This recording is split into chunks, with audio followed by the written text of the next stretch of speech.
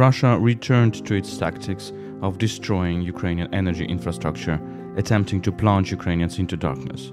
Ukrainians across the country endured a week of unprecedented combined aerial attacks. Meanwhile, as March marked the 10th anniversary of the illegal referendum in occupied Crimea, we reflect on political and ethnic persecution by the Russian occupiers. You're listening to the podcast Explaining Ukraine. The Explaining Ukraine podcast is produced by Ukraine World, an English language website about Ukraine. My name is Volodymyr Yermolenko. I'm chief editor of Ukraine World.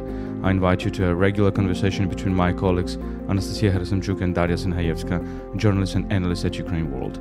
They analyzed key events in and around Ukraine during the last week.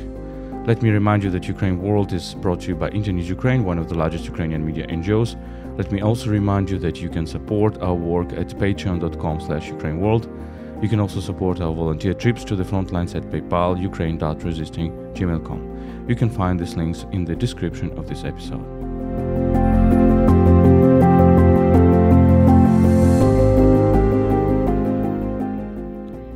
Russia has intensified its aerial attacks on Ukrainian cities.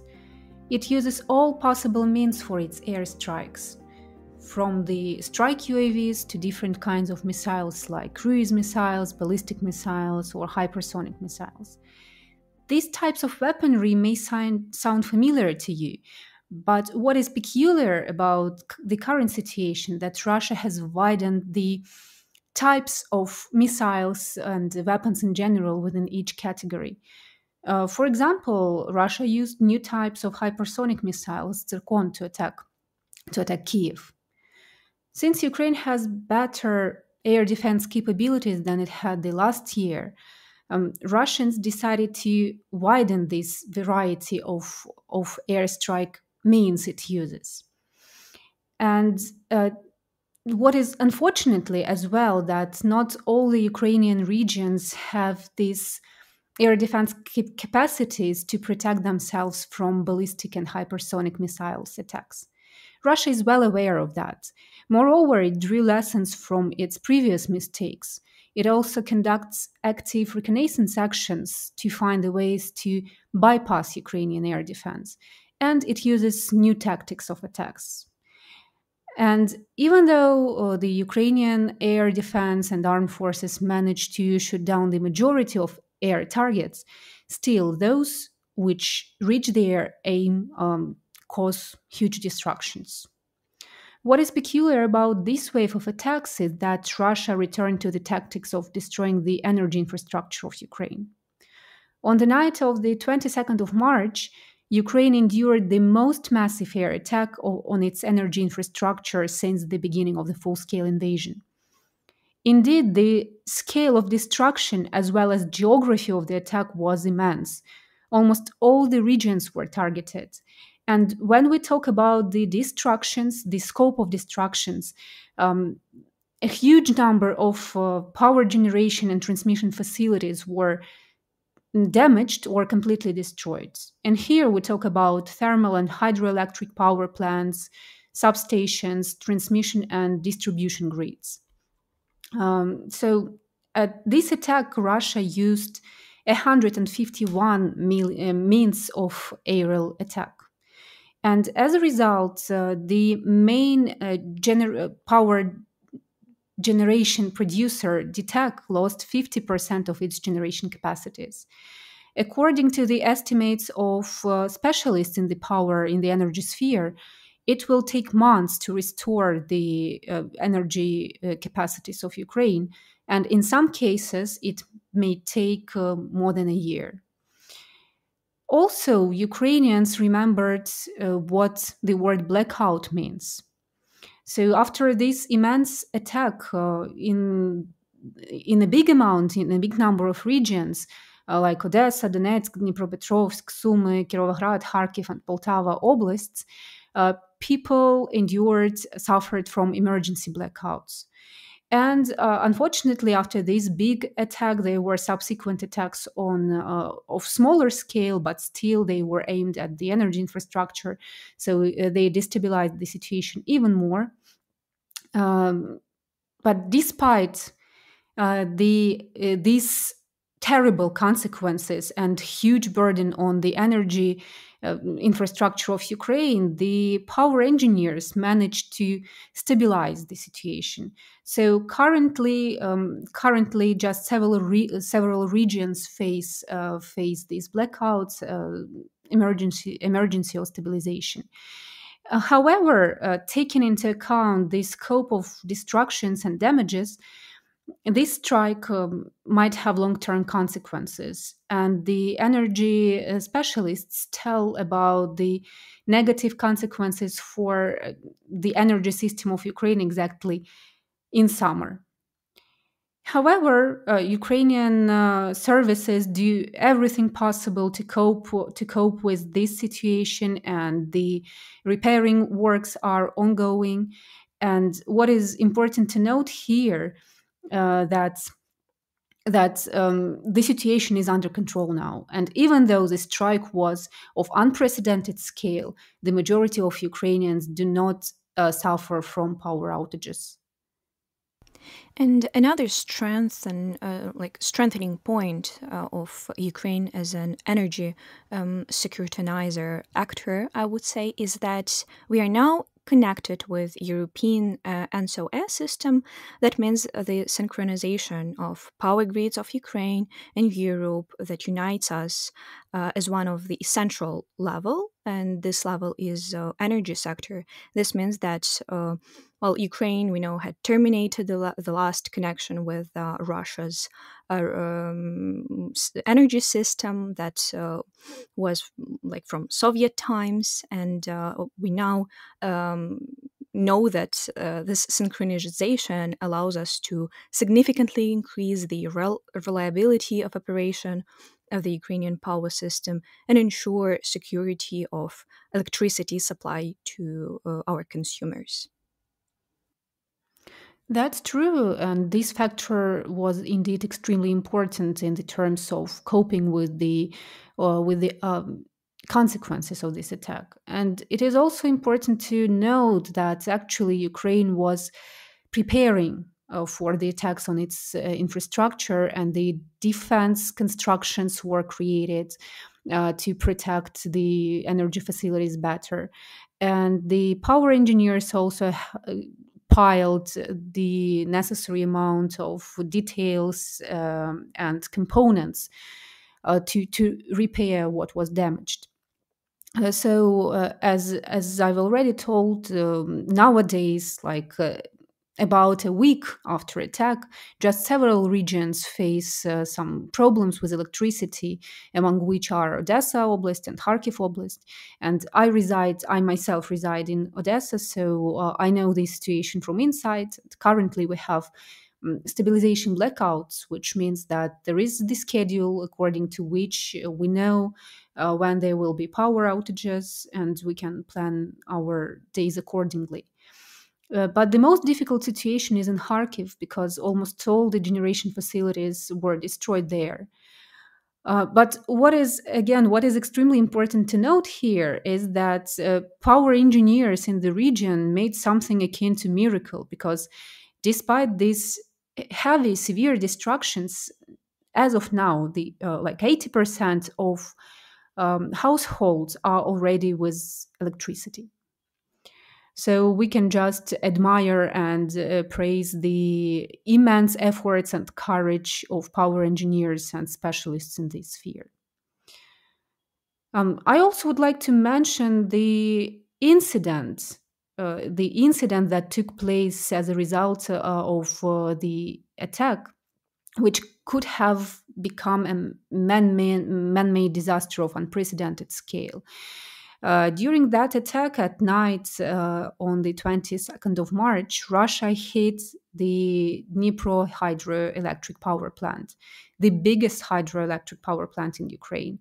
Uh, so the facility sustained eight hits. They were heavy damages, and now the hydroelectric power plant doesn't fully operate, and specialists say that it will take years to fully restore it. As the result of this attack, uh, as the result of the damage caused to the equipment uh, in the power plant, the oil products got into the Dnipro River, uh, which is actually a huge scale of water pollution. But it's a huge and extreme luck that, um, despite those heavy damages, the dam of the Dnipro hydroelectric power plant uh, wasn't destroyed. And uh, currently, the overall situation is under control, and there are no risks of the dam breakthrough, which is a big uh, relief for Ukraine and entire Europe. So, um, just let's think why Russia uh, restored to these tactics uh, again, and it happened not in winter but exactly now. Uh, according to the Institution for the Study of War, uh, Russia um, decided to launch this kind of attack uh, exactly now because um, Ukraine faces the lack of uh, ammunitions and lack of uh, missiles, including for the air defense uh, capabilities, air defense system. Uh, so, uh, in face of this situation, when Ukrainian air defense capabilities are weaker than they were, uh, it was a good, let's say, good chance for Russians to cause this heavy damage.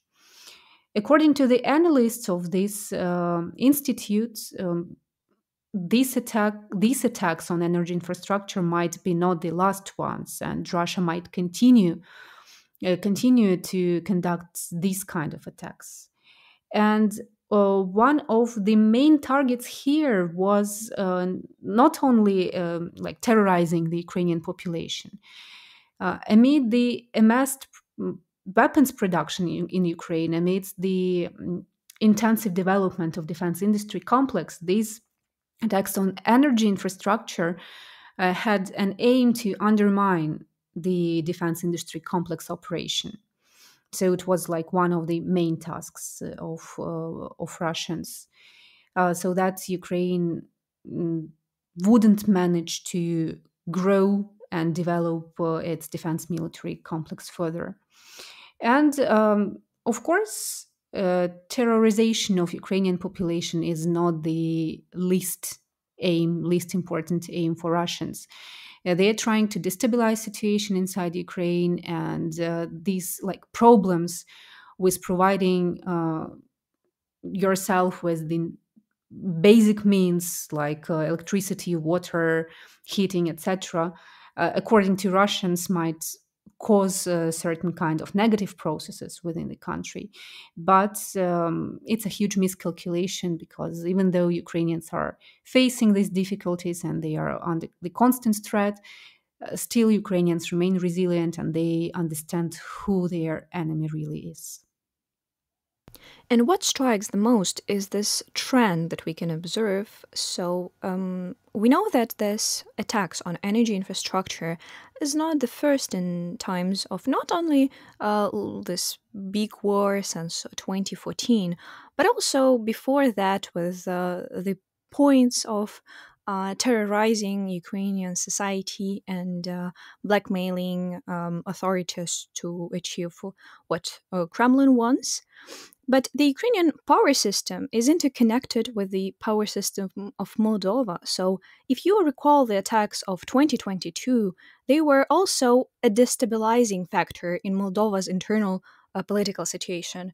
There were still manipulations of Russia gas supplies to Moldova connected to the volumes of electricity generated by a Russian owned company in uh, the unrecognized region of Transnistria, which is used for Moldova's needs. And we also remember that protests in the country were related to Russia's destabilization of gas markets and power um, outrages resulting from damage of the Ukrainian system. And at that point, Russia was trying to change the government in Moldova to one of their liking so that Ukraine receives another unfriendly state on its borders. Now, Moldova switched to European gas via Ukraine to reduce its dependence on Russian gas and um, the massive attacks that you, Nastya, described are oriented on blackmailing of Ukrainians and cutting down capacities of Ukrainian cities to maintain themselves. we can overall see that Russia has become more active for a number of reasons. Uh, they are very concerned about the operations of the intelligence service of Ukraine, and there is information that the buildings of the main intelligence directorate and the foreign intelligence service could have been uh, targeted. Obviously, our special services are quite active and create a lot of problems for the enemy. And to some extent, um, this is a recognition of how effective uh, the Ukrainian intelligence community works. This is a recognition that they are extremely active, conducting operations that cause uh, these troubles, and uh, later on we'll uncover uh, more details about that. To take revenge, Russia does best it can, fighting against civilians. We know stories from our frontier cities. And to terrorize the civilian population of Kharkiv, the enemy uses S 300 missiles with a range of up to 350 kilometers with a ballistic trajectory that reduces the ch- chances of being shot down by Ukrainian air defense systems. So we see this um, different patterns of attacking. For example, Kiev remains uh, the main symbolic, politic, strategic um, aim for um, Russian occupiers.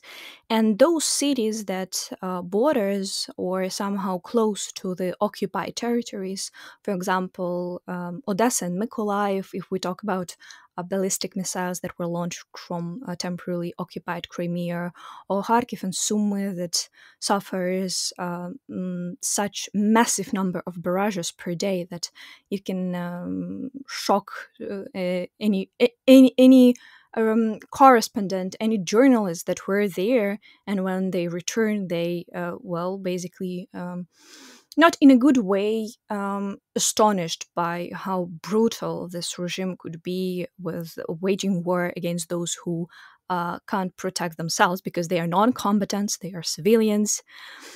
Uh, and circling back, the Russian Federation has large stockpiles of these missiles, up to two 1500 and their shelf life is up to 30 years. Therefore, the Russians are faced with a choice either to dispose of the missiles, spending money from the budget, or to use them to hit frontline cities. This is why the occupiers are using them to hit Kherson, Kharkiv, and Zaporizhia.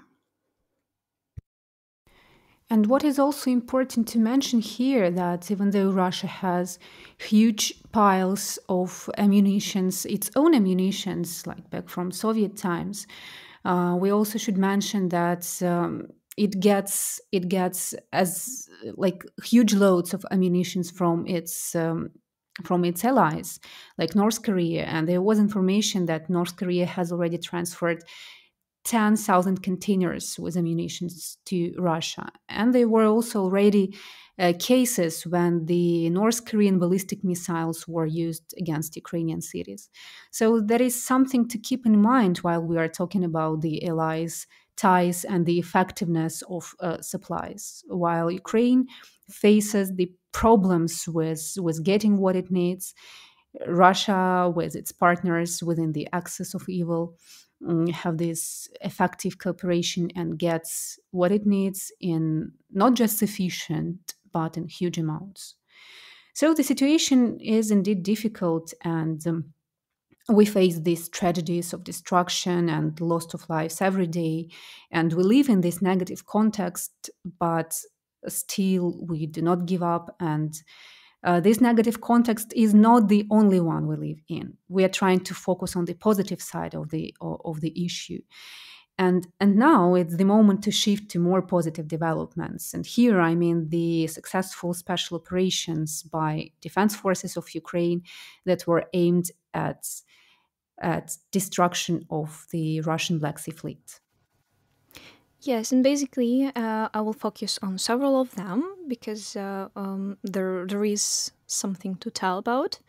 On 24th March, the Defense Forces attacked with a Neptune missile the landing ship Konstantin Olshansky, which the Russian occupiers stole from Ukraine in 2014 during the annexation of Crimea. Uh, the Ukrainian military also hit the Russian reconnaissance uh, ship Ivan um, Hurs, and this ship had been in Sevastopol for nine years. Russians began dismantling it for spare parts and looting it. But in the 10th year of the war, the occupiers realized that they were running out of large ships, so they decided to restore Konstantin Olshansky within a year. And our Navy spokesman, Dmytro uh, Pletenchuk, added that the extent of damage to the ship is currently being determined, but it's definitely not combat ready. The Russian large uh, assault ship Azov and Yamal, which were hit the day before, will also uh, not be able to carry out combat missions in the near future, as will the Ivan Hurs uh, uh, ship. And Ukraine has upgraded its Neptune missile so that it can now operate in a surface to surface mode. So basically, uh, these missiles have already been used against many targets. In particular, they attacked uh, the uh, Cruiser Moskva and destroyed the S 400 anti aircraft missile system, which is called Triumph. So, um, Ukraine is on its way to upgrade what we have and uh, finding means of deoccupying uh, our territories. According to um, InformNapalm, the Yamal large assault ship took part in the annexation of Crimea, and the Azov large amphibious uh, assault ship rarely took part in, uh, you know, military exercises or any let's say, international voyages. More often, the Russians liked to show it off. For example, it was used for a film about the construction of the Novorossiysk naval base. But uh, what um, draws our attention is that Ivan Hurs ship um, was designed for reconnaissance, and there are only two ships of this design in the Russian Navy. And the main task of it is electronic warfare, communications, um, fleet management, and initially it was supposed to join the Russian Pacific Fleet, but it was decided to uh, send uh, send it to the Black Sea to replace the uh, sunken ship Liman, which also was uh, th- this um, ship with such aims like electronic warfare and uh, like communications um, and, and, and other uh, things like that. And the official task of this uh, ship is to ensure the security of the Turkish Stream and Blue Stream pipelines. However, its designers intended it to be a flagship for, you know, like network centric warfare and to coordinate the actions of air and ground forces. Solely, it can like provide command and control of troops and coordinate the actions of aviation and ground forces. In addition, it has um, more modern equipment, let's uh, put it in such way. So even the temporary loss of the ship will affect the Black Sea fleet's ability to perform various tasks. And um, in previous episodes, we uh, delved deeper into uh, what tasks the Black Sea fleet uh, can cope with now and uh, which tasks are out of their control. So basically, point by point, uh, mm, by each operation of our intelligence service, we see how uh, Crimea, for example, is getting closer and closer to uh, its uh, origins, to Ukraine's control.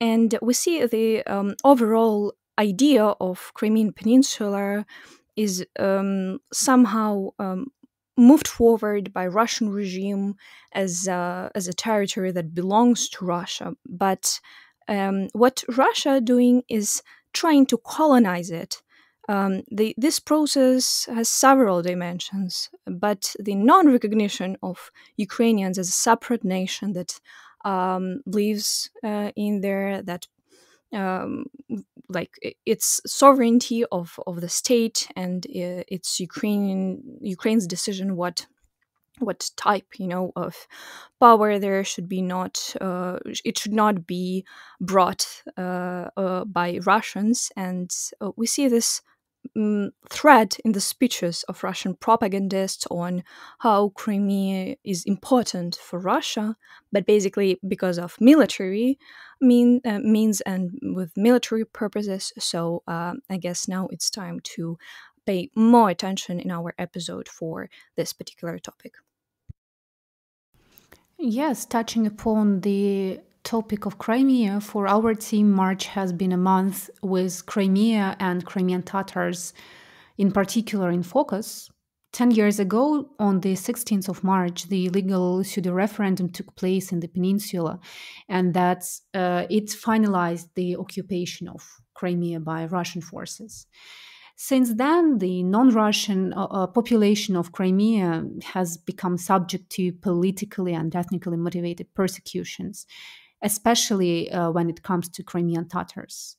So Crimean Tatars are actually indigenous population of the peninsula, and we can um, find their roots there since the 12th century. Crimean Tatars had their own state uh, in the Crimean Peninsula. It was called Crimean Khanate. But in 1783, Russian Empire came there and destroyed the Crimean Tatar state. And since then, the occupation of the peninsula started. So it faced like almost two centuries of uh, occupation by Russian Empire. Then there was the Soviet occupation, and now it is occupied by the uh, current Russian Federation. What is important to note in this context that um, these occupational activities and um, well-adjusted Russian ethnic policy led to artificial change of ethnic makeup of the population. And when we talk about the 60% of Russians living in the peninsula, we should keep in mind that it was created artificially and uh, it doesn't have anything in common with, with the indigenous population of the peninsula. So the Russians artificially created these conditions. Uh, deporting and um, eradicating the local population of Crimea. And I had an honor to talk with Tamila Tasheva, the permanent representative of the president of Ukraine in, in Crimea, about what is actually going on with the non Crimean population of the peninsula. And uh, since the occupation in 2014, the persecutions have started and they um, became much more severe and widespread, widespread uh, already after the full scale invasion in 2022. And now there, uh, there are 214 individuals who are persecuted uh, under the pretext of Russian repressive law. So we are calling, we are talking about these sham uh, legal persecutions. And out of this number of people, of this amount of people, out of 214 Crimean cases, uh, 135 persecuted are Crimean Tatars. And they face these full charges of extremism. Uh, these people, um, Ukrainians, and to a greater extent, Crimean Tatars, uh, are being killed. They, there are cases of enforced disappearances. And um, what has become even more acute after the full scale invasion, uh, in violation of international humanitarian law, Russia conscripts to its army the population of the occupied territories. So, uh, people, Ukrainian and Crimean Tatar people uh, in the on the peninsula, are facing this forced mobilization. And now uh, the bigger uh, number of Crimean Tatars uh, have been leaving the peninsula. They, they, they are leaving their home, homeland, and the entire families are leaving it. And Ukraine calls it hybrid or quiet deportation. Like uh, when, if in the 20th century, the Stalinist regime committed genocide against Crimean Tatars, deporting them uh, to Central Asian countries, loading them into freight cars. Now, Crimean Tatars are driven out of uh, the peninsula because of these persecutions, repressions, and forced mobilization. Um, when we talk about rights of non-Russian population there, we also should keep in mind that uh, all these spheres of life are under Russian control, even if we talk about religion. When it comes to Orthodoxy and Christianity in general, the uh, Russian patriarchy is in charge of everything. But when we come, when we talk about Muslims, um, they are also are, are, under effective Russian control. And the religious administration of Muslims of Crimea are in charge of uh, religious affairs of Muslims. And um, this body currently is also under the control of Russian special services. This process didn't uh, start, um, didn't happen immediately like it was the whole process of subjugating this body and the religious uh, leaders of uh, of muslim population of crimea uh, they were uh, blackmailed they were threatened and that's how uh, russians forced them to collaboration and uh, talking again talking about those false persecutions um, and charges uh, against Ukrainian and Crimean Tatar population. Um, as Tamila Tasheva told, Russians decided that uh, with the occupation of the territory, they can just appropriate the population of the peninsula. And um, the problem is that uh, Ukraine, neither Ukraine nor international community can do uh, can take um, effective steps to help and to assist uh, local population to protect themselves against uh, against Russian persecutions. First of all, these people who are persecuted they are civilians, and uh, according to the international law. Um, Ukraine just cannot include these people into the list of exchanges.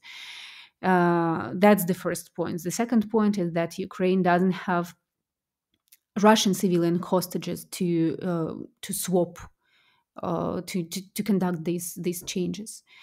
Uh, so uh, there are no legal tools actually to force Russians release our our political prisoners.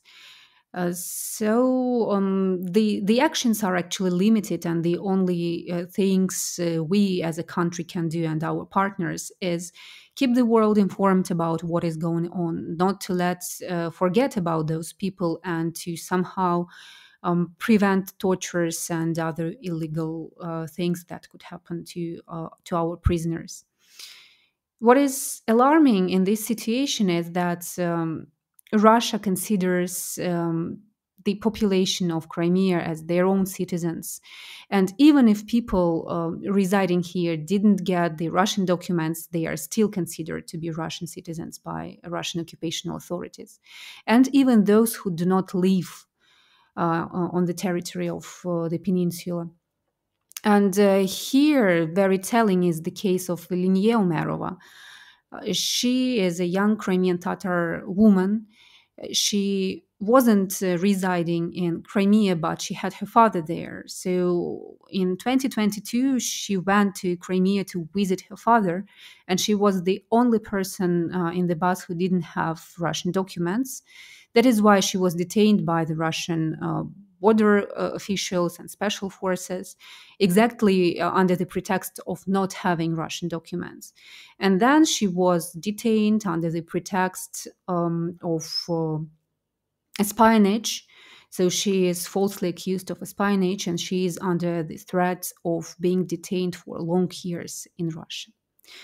So you can read much more about the current state of Crimean Tatars uh, in uh, on the peninsula and what Ukraine and international community do or can do uh, to assist uh, assist this population in our article, which was recently published on our platforms. And I also would like to um, invite you to read several more materials uh, that were written our colleagues about the Crimean topic. Uh, our colleagues, journalists uh, Nika Krychovsky and Elizaveta July, um, wrote wonderful articles.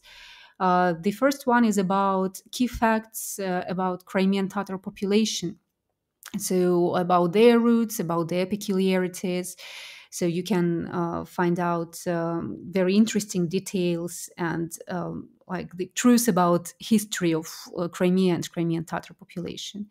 And uh, our colleague Elizaveta July collected and retold a story of a Ukrainian writer, Evgenia Henova, uh, who made a book uh, compiled of Crimean Tatars' uh, families' stories, personal stories. Um, she was um, our uh, colleague was present at the presentation of the book herself, and she managed to talk to the author of this book.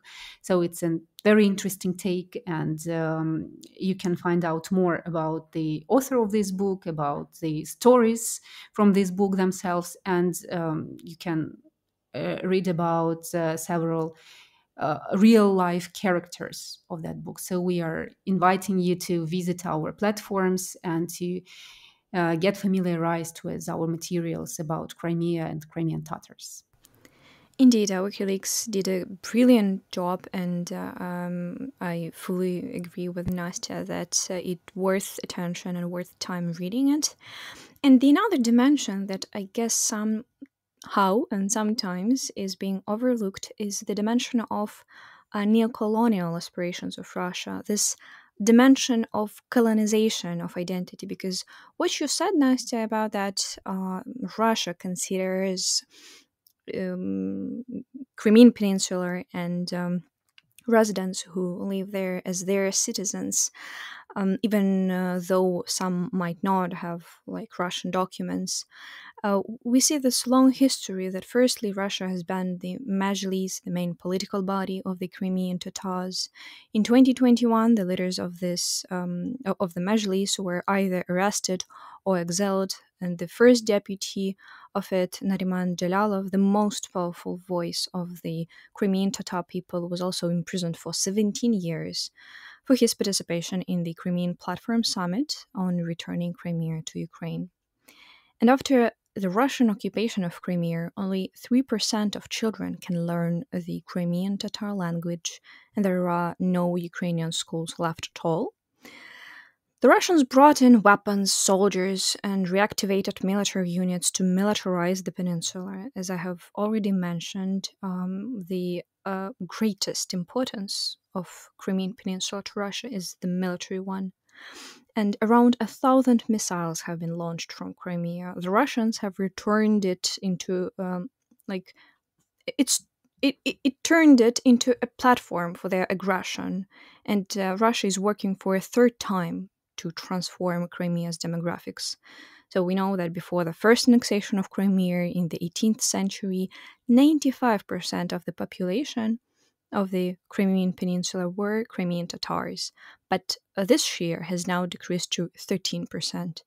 Then we have the deportation of 1944, and today's efforts are also the process of Russian colonization. Also, when thinking about um, Crimean Peninsula, I um, recall this stance that literature is artistic way of living through events and communicate them with wider public. And I was astonished by the work of Svetlana Tatar- uh, Taratorina, who uh, is the author of the novel House of Salt, and uh, she is um, a Crimean itself, and uh, she couldn't start writing a novel immediately after the annexation of Crimea in 2014 because uh, this event became a family tragedy.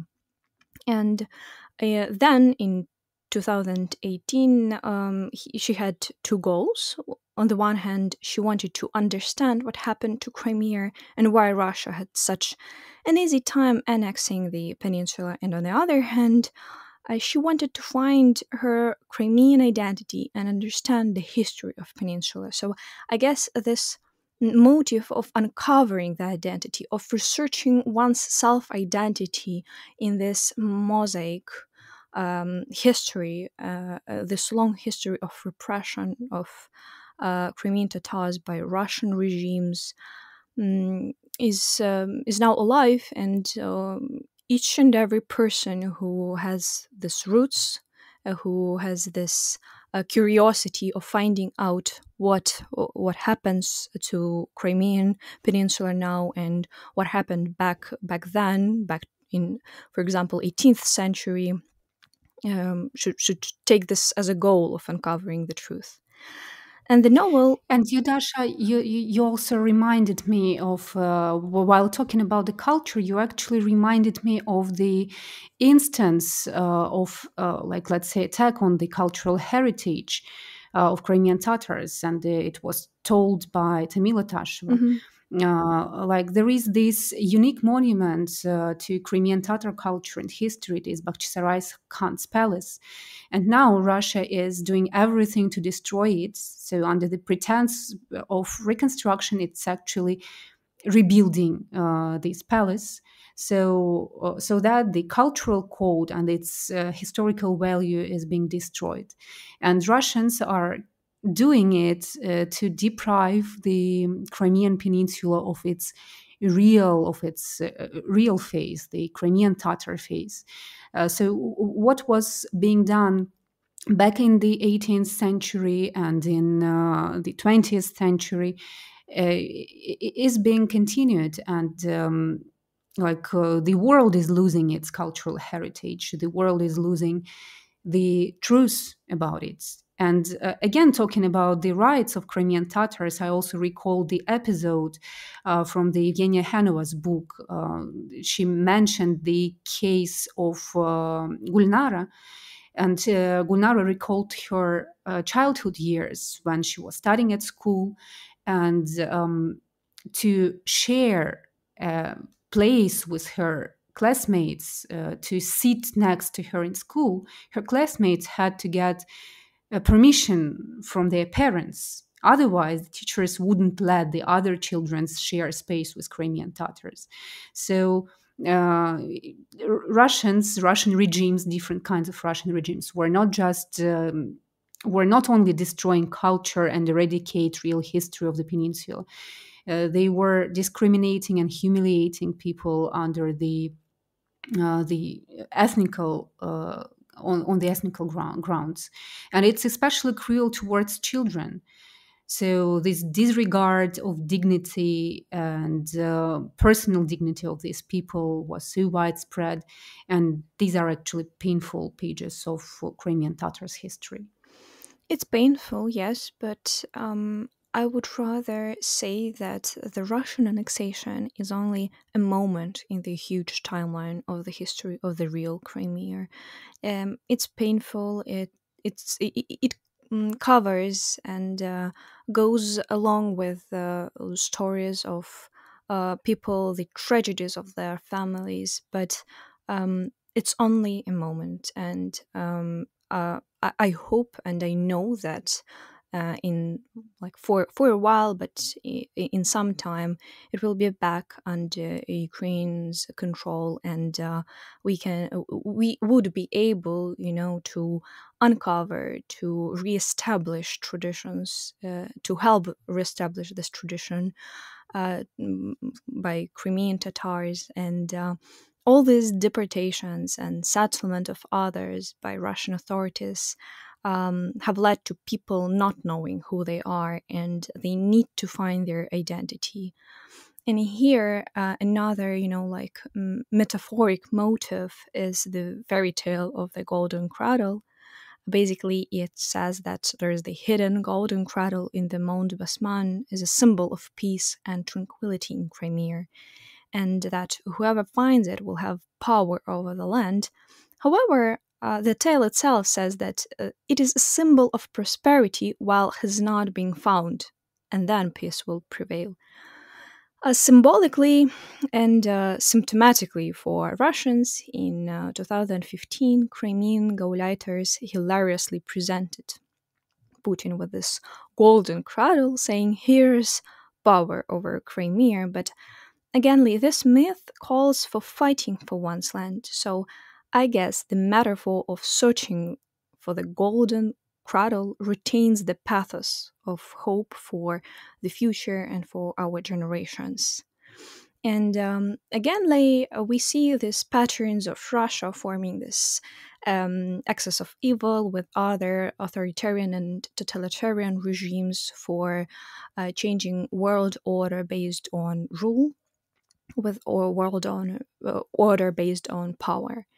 And we know that um, just a couple of days ago, um, ISIS militants uh, responded in a way for the blood of Muslims, uh, as they say in Afghanistan, Chechnya, and uh, Syria, in Crocus City Hall near Moscow. And um, um what is important here is that Islamic State militants are Sunnis. By the way, so is the occupied Ichkeria, or Chechnya, as uh, Russia calls it. So, solidarity with the enslaved Caucasian people is another reason of hatred of ISIS, of the Kremlin, and its uh, sympathizers. And here builds up an eye catching uh, trend. We know that Iran is Russia's main partner in creating the Middle East conflicts, uh, including the war in Israel, and the Iranians are overwhelmingly Shiite and it is sometimes difficult to know whom they hate more Americans or Sunni Muslims. So, um, inside this, what, what uh, I'm trying to say that inside this um, radical far movements, um, movements of aggression and uh, terror, there are also, you know, some cleavages. And Moscow and Tehran are jointly supporting Syrian dictator Assad. And we remember that the war in Syria began in um, 2011 with protests against Assad's dictatorship, with ISIS took advantage of it, seizing uh, about a third of Syrian territory and four um, and 40% of Iraq. And then Assad called for help from the Russian army, Hezbollah, and uh, Iran, and the Islamic State uh, was almost destroyed. Uh, the whole world knows uh, about the tragedy of 2 million city of Aleppo, uh, which the pro Assad coalition um, besieged and destroyed with bombs, chemical weapons, and starvation. Sometimes um, it it is referred to as uh, another analog of what Russians did in Mariupol. And uh, we know that the day before in the morning, Russia launched a massive attack on Ukraine using uh, 90 missiles of various modifications and 60 drones. So uh, Russia can use this attack and uh, is trying to accuse Ukraine um, um, and you know Ukraine's alleged involvement as a pretext for further escalation of this war, and uh, the West understands this. Basically, British um, Finance Minister Jeremy Hunt said that the Kremlin was creating a sort of a smokescreen of propaganda around the attack in order to defend the invasion of Ukraine and mobilize more resources. But we need to uh, understand clearly that both ISIS and Russia are terrorist sort of regimes, regimes of power. And basically, when uh, Putin says from the tribute that mm, basically the this uh, terrorist attack is cruel, uh, it's not appropriate in our world. We have to see what the Russian dictator did um, in Ukrainian cities like Mariupol, uh, Sumy, Kharkiv, Mykolaiv, Odessa, uh, all that barrages carried out, all those uh, cities and their identity vanished out. So mm, neither of them I mean, ISIS or uh, Russia um, are good because they are, are, terrorists and they are waging these uh, actions of aggression. Mm, but we mm, have to understand, uh, you know, who are we talking about? Because uh, Russian president and its supporters, basically the Russians, um, they all are involved in uh, terrorism uh, against Ukraine. So there are no good terrorists. Uh, either we talk about ISIS or Russia. And what is shocking about this attack is that Russia is exploiting uh, the tragedy of its people to uh, false, falsely accuse Ukraine and, uh, as you, Dasha, Dasha said, to justify its terrorist attacks on Ukrainian cities. But what is also worth mentioning here is that actually Russia was warned about the possible terrorist attack. The uh, Western, uh, namely the American intelligence services, warned Russia about the possible terrorist attack. Uh, and the uh, reaction of Russian leaders was actually uh, quite unexpected. They, um, uh, the Russian leader told that that's actually how the Westerners were trying to destabilize situation within Russia. Uh, so uh, I don't know if it was on purpose or it was just negligence, but the Russian authorities didn't pay due attention to this warning and did nothing to prevent uh, this attack. And instead of focusing on, it, on its internal security, like it kept focusing its actions on terrorist actions against Ukraine.